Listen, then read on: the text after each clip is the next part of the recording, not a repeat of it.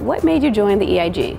I joined for mentorship, I joined for professional development, and I also joined to have a community of women that we are all supporting one another with our professional and personal goals. Women is just one aspect of what we are. We're a lot more things. We're mothers, sisters, wives. You know, we also are women of color. And I think Inspire does a really good job of bringing those voices to the table, finding intersectional allies, as well as elevating issues that are important to women. We know there's also opportunities to expand and grow. So share with me, what do you see are the opportunities for growth in the EIG? Honestly, I see two major areas that we can grow. One one is to collaborate with the other EIGs to always be really intentional and look at those opportunities where we can partner in any type of way. And the other way is to build our allyship to make sure that we're inclusive of every employee here at Centene. We really want to build up our male representation in our EIG.